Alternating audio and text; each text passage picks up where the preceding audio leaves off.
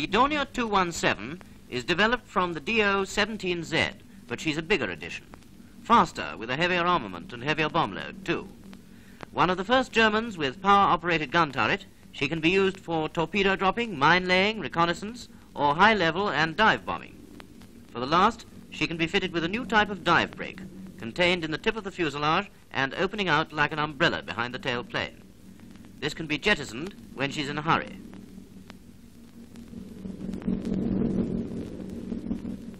Let's watch her as she goes around and about. High wing with very large underslung radial engines which show at once. Glazed, bulbous nose like her predecessor, but those engine nacelles project beyond the trailing edge.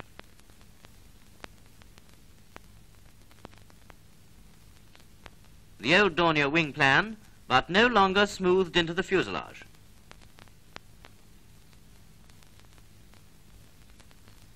And now that pointed fuselage projecting well beyond the tail unit, which has twin fins and rudders.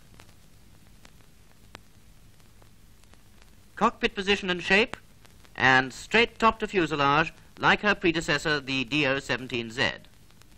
But glazed nose more rounded, a much heavier fuselage with only slight break to underside for rear gun position. Angular fins and rudders with the fuselage projecting beyond. The later versions have a power-operated gun turret on top of the fuselage, a new feature of the German bombers. The Boche is learning from us. But remember, you still see DO-217s with no turret. Dead on view of a deadly enemy. Yes, Dornier by high flat wing, thicket roots, and everything hanging down. But Dornier 217 because of the length of its engine nacelles. Take a good look at that heavy glazed nose. They still keep the crew up front.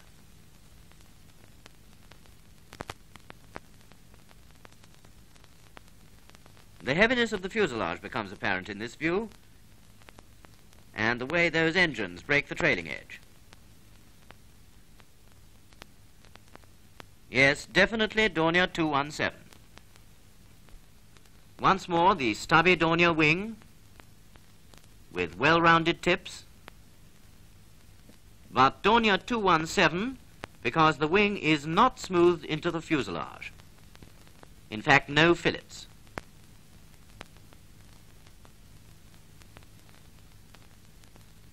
High angular tail unit and that most outstanding feature of the DO-217, the protruding fuselage tip, which is even longer if it contains dive brakes. See how she differs from the 17Z from which she's developed. The 217 has longer engines with projecting nacelles, smoother nose, more bulky fuselage, no fillets at wing roots, and fuselage projects beyond tailplane. Clear? Here's the 217 alone again. In flight, remember those differences from the earlier Dorniers, and don't forget you may see bombs or other underslung blobs hanging down below the wing. But don't let that fox you. The DO's just carrying a little extra for someone, if she ever gets there.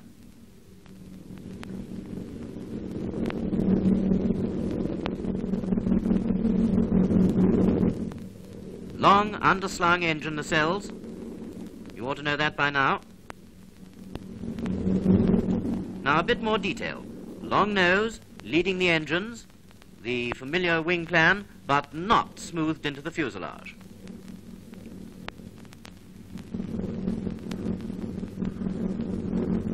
Fuselage tapering to a point beyond the tailplane. Incidentally, that tailplane is slimmer than the old Dorniers.